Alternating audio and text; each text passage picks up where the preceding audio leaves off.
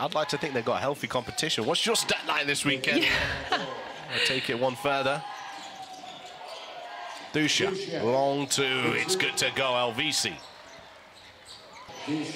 Used to play the music as well, as we once did, all announcers. There was one guy, we do the hype, we do the commentary, and we do the music. And if there were screens like there was at the Riders, used to do that.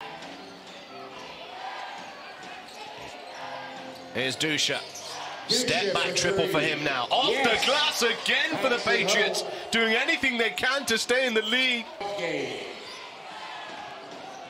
As you hear over the arena sound system, it's a one-point ah. game. Joe Hart changes that, makes it four points the difference. Yeah, resting players is important. They do need to win this game. Just to confirm it, as we mentioned already, that fourth position. But it's also important to make sure you have a fully healthy roster going into the playoffs. Louder. Hart. Louder. Dusha needs this to silence the crowd, and he does exactly that. Absolutely. That's the noise. Come on. Atwood. Hart, stop, pop, triple, kaboom!